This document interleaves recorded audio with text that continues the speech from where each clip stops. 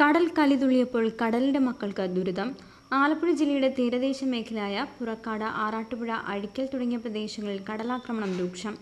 നാനൂറിലധികം വീടുകളിൽ വെള്ളം കയറി. ആലപ്പുഴ ജനറൽ ആശുപത്രിക്ക് സമീപം ബീച്ച് വാർഡിൽ അൻപതിലധികം വീടുകളിൽ വെള്ളം കയറി.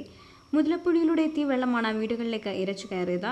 കടലാക്രമണത്തിൽ ധാരാളം വീടുകൾക്ക് നാശനഷ്ടമുണ്ടായി. ചിലരുടെ വീടുകൾ ഭാഗികമായി നശിച്ചു. തീരദേശവാസികളുടെ ജീവിതം തന്നെ കടലെടുത്ത അവസ്ഥയിലാണ്. ശക്തമായ കടലാക്രമണത്തിൽ ബുദ്ധിമുട്ടുകയാണ് കടലിന്റെ മക്കൾ. വീടുകൾ വെള്ളം കയറിയതിനെ തുടർന്ന് ഭൂരിഭാഗം പേരും സ്വന്തം വീട് വിട്ട് ബന്ധുക്കളുടെ വീടുകളിലും മറ്റുമായി അഭയം കണ്ടെത്തിയിരിക്കുകയാണ്. കടലാക്രമണ ഭീഷണി നേരിടുന്ന പ്രദേശങ്ങളിൽ സുരക്ഷാ കവചം എന്ന നിലയിൽ കടൽഭിത്തി നിർമ്മിക്കാത്തതും പ്രതിഷേധത്തിന് ഇടയാക്കിയിട്ടുണ്ട്.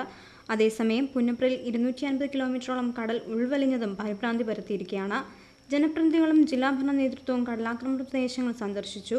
പൊടിമുറിച്ച വെള്ളം കടലിലേക്ക് തിരിച്ചുവിടാനുള്ള ശ്രമങ്ങൾ ആരംഭിച്ചിരിക്കുകയാണ്.